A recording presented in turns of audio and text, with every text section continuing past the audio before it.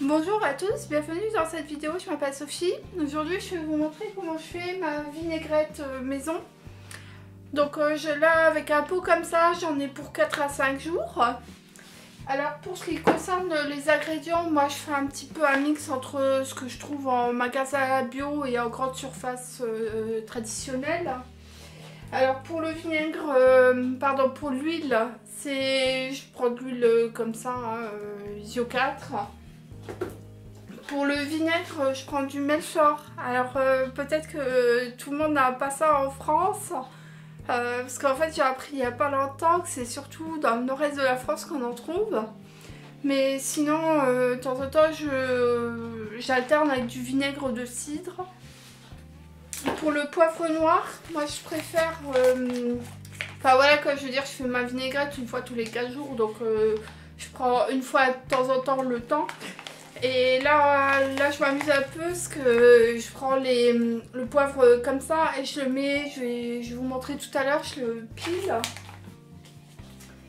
Et ensuite, pour ce qui concerne le sel, alors euh, je me suis un petit peu renseignée et en fait euh, j'en achète du qui est pas traité.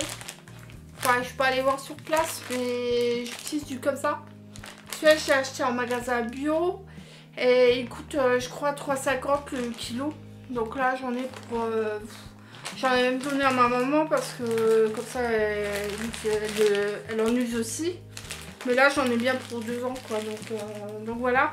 Donc, on va passer à la recette et je vais vous montrer tout ça. A tout de suite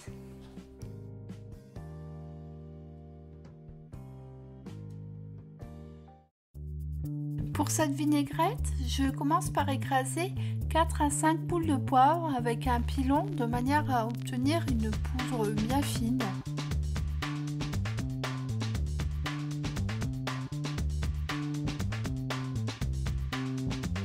Je remplis le pot de moutarde à environ un tiers jusqu'en bas de l'étiquette.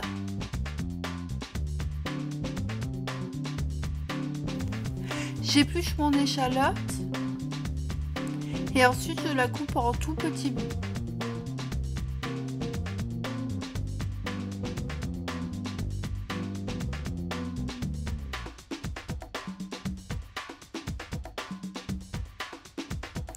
Je nettoie mon curcuma avec un couteau.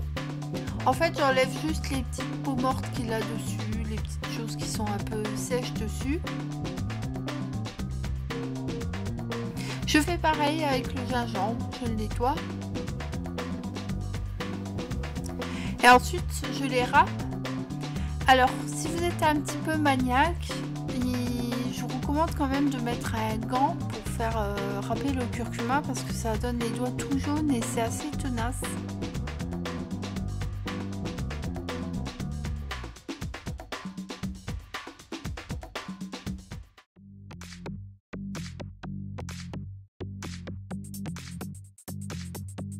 Je rajoute le sel.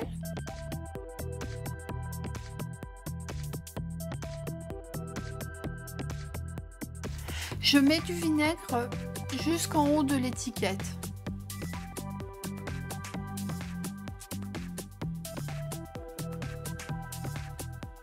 Je mélange le tout et ensuite je rajoute de l'huile.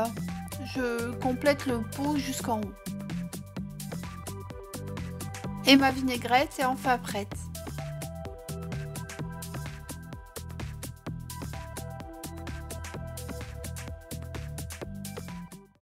Alors voilà, ça y est, cette vidéo enfin terminée. Je vous remercie beaucoup de l'avoir suivie.